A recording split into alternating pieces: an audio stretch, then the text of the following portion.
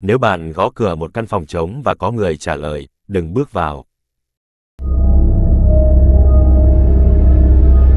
Hôm đó là tối thứ sáu, và gia đình tôi đang đi ra ngoài. Họ đến thăm nhà cậu của mẹ tôi. Tôi không hứng thú lắm với mấy buổi gặp mặt gia đình này. Quá chán nên tôi kiếm đại một lý do và ở nhà.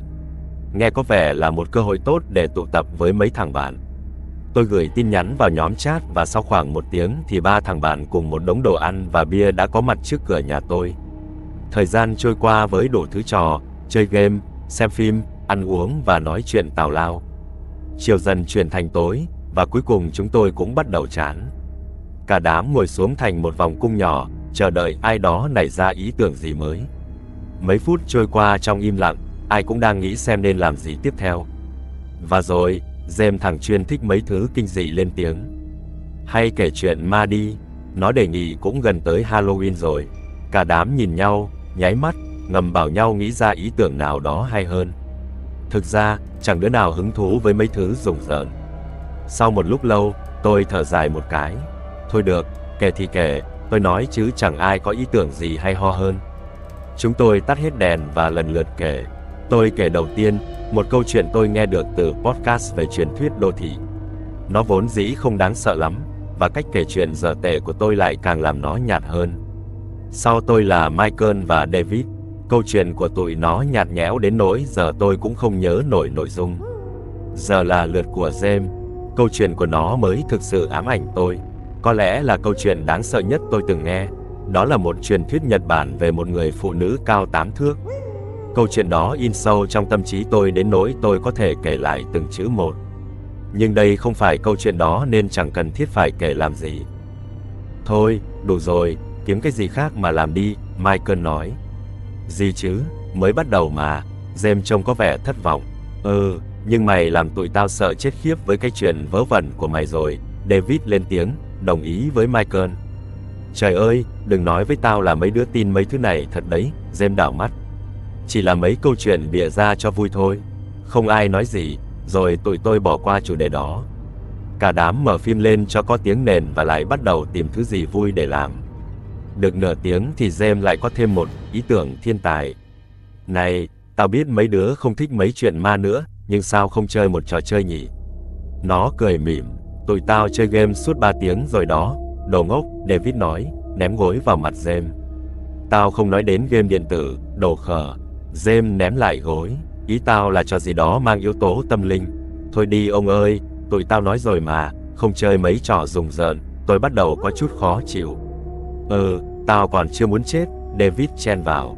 Yên tâm đi, tụi mình sẽ không chết, cũng không bị quỷ ám hay gọi hồn gì đâu, James cười lớn. Thật ra trò này còn hữu ích nữa, nó trả lời được các câu hỏi có thể trả lời bằng có hoặc không. Cả đám có chút tò mò nhưng vẫn còn e dè. Mọi câu hỏi hả? Michael hỏi. Mọi câu hỏi, James cười.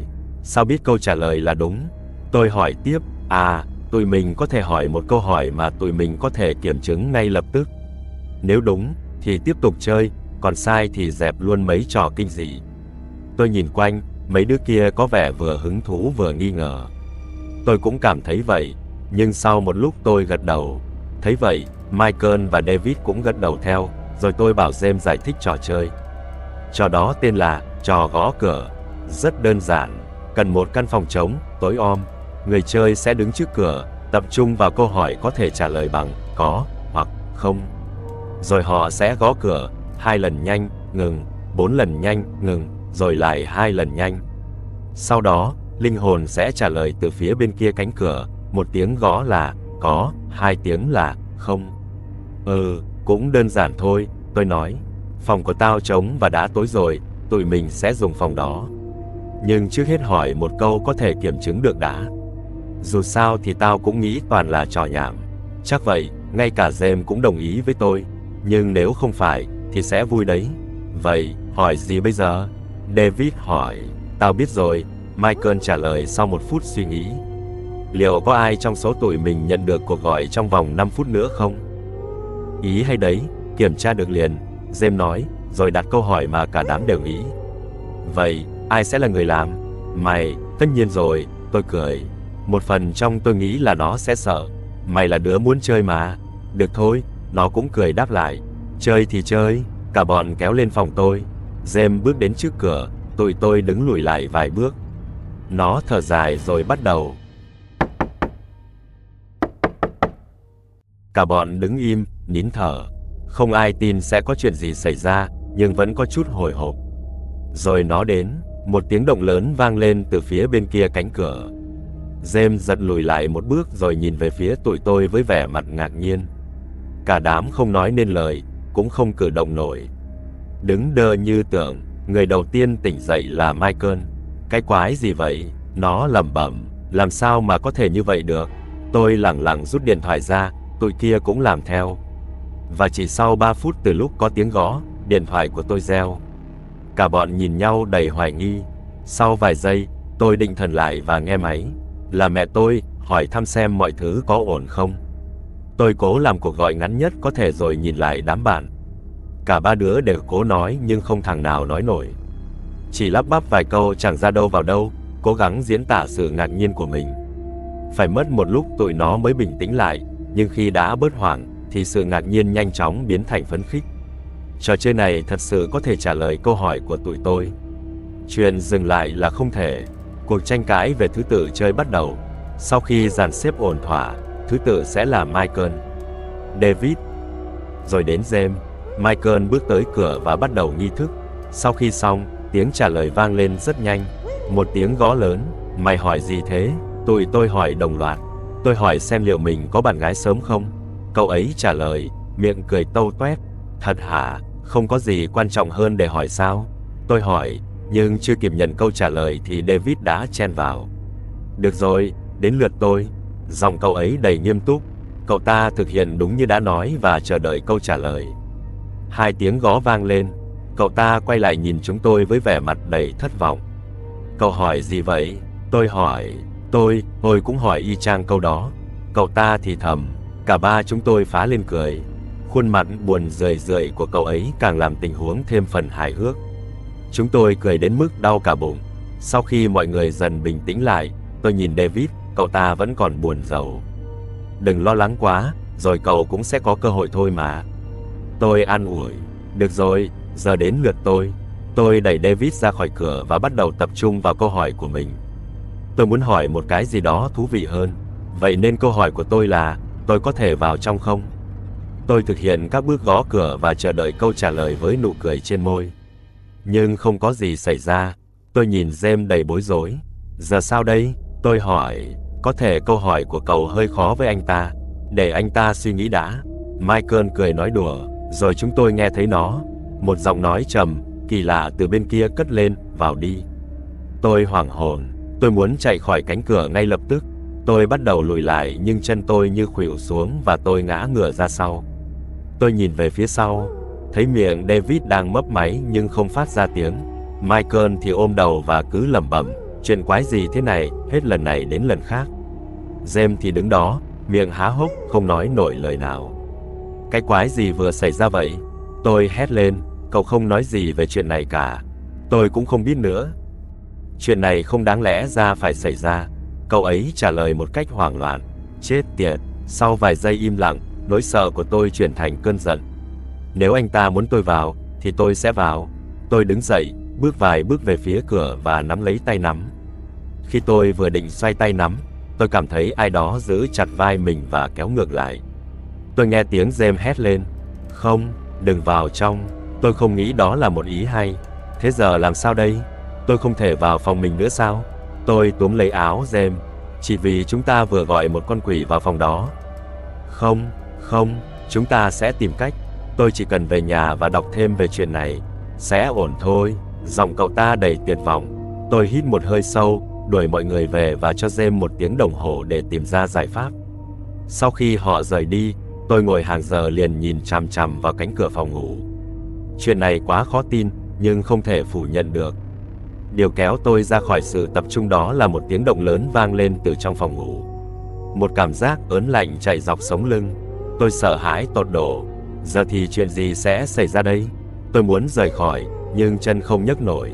Tôi ngồi xuống trước tivi và bật một bộ phim để sao lãng. Thỉnh thoảng lại có tiếng động lớn vang lên. Tôi lo lắng chờ cuộc gọi từ James. Cuộc gọi đó đến ngay trước khi hết một giờ. Sao rồi? Tôi lạnh lùng hỏi, chuyện quái gì đang xảy ra? Đầu tiên, tôi phải xin lỗi vì đã quá ngu ngốc. Cậu ta bắt đầu, tôi không đọc hết mọi thứ. Hình như có những câu hỏi mà anh ta không thích, và nếu hỏi nhiều quá, anh ta sẽ nổi giận. Tôi không biết câu nào làm anh ta giận trong trường hợp của chúng ta, nhưng điều đó không quan trọng.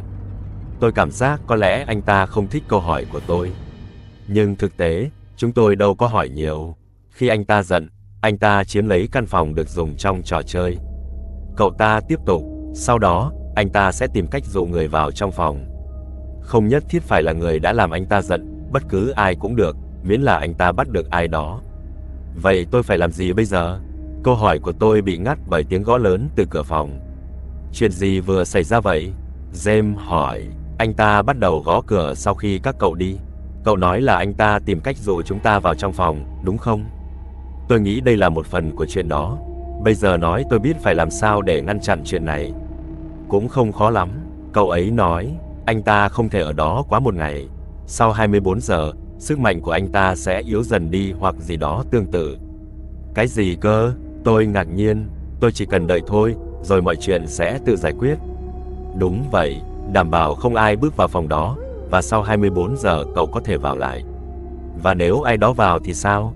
Tôi tò mò hỏi, tôi không biết, cậu ấy trả lời, có thể là không ai dám làm chuyện đó trước đây, hoặc những người đã vào thì không kể lại được.